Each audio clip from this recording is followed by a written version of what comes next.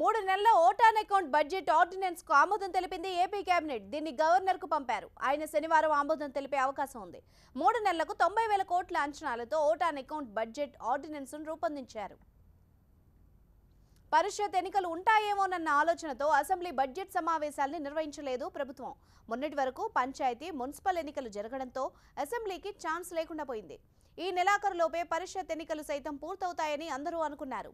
వ్యవహారం హైకోర్టులో ఉండడం ఎస్ఈసీ నిమ్మగడ్డ సైతం కష్టమేనని తేల్చేయడంతో ఇప్పటికిప్పుడు అసెంబ్లీ సమావేశాల నిర్వహణ కష్టమని ప్రభుత్వం భావించింది. ఆర్థిక ఆర్థికపరమైన ఇబ్బందులు రాకుండా మూడు నెలలకు సరిపడా ఓటాన్ అకౌంట్ బడ్జెట్ అంచనాల ఆర్డినెన్స్కు ఆమోదం తెలిపింది కేబినెట్. రాజ్యాంగం కల్పించిన వెసులుబాటును తప్పనిసరై వాడుకుంటున్నామని విపక్షాల విమర్శల్లో పస లేదన్నారు ఆర్థిక మంత్రి బుగ్గన రాజేంద్రనాథ్. గారికి ఎందుకు మీరు ఇవ్వలేదు? అంటే మీకు అనుకూలంగా ఎలక్షన్స్ ఎస్సీసీ గారిది ఒకవేళ సెట్ అయితే మీరు ఊరుకుంటారు.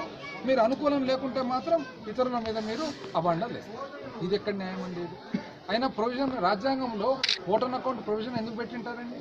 ఎప్పుడైనా అవసరం వస్తే వాడుకునే దానికే పెట్టేది ప్రొవిజన్ ఆ ప్రొవిజన్ ఈరోజు వాడుకుంటున్నాము. అయినా ఏం తప్పేముందండి?